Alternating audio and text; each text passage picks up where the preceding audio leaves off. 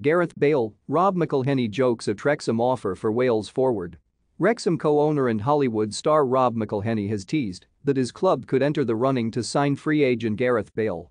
The 32-year-old has confirmed that he will be leaving Real Madrid at the expiration of his contract, though is yet to finalize his next club.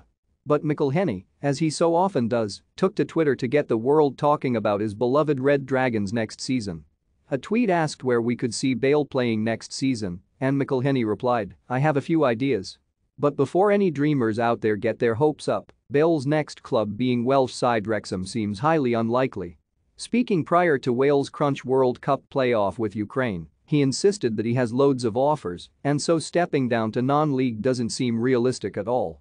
Bale has been linked with heading back to Tottenham for a third spell in North London, while a move to hometown club Cardiff City in the EFL Championship has also been touted. He also rejected reports that he could retire if Wales were unsuccessful in their bid to make the World Cup. However, his deflected free kick against Ukraine ensured the Dragons will be at the globe's biggest tournament for the first time since their only other qualification in 1958.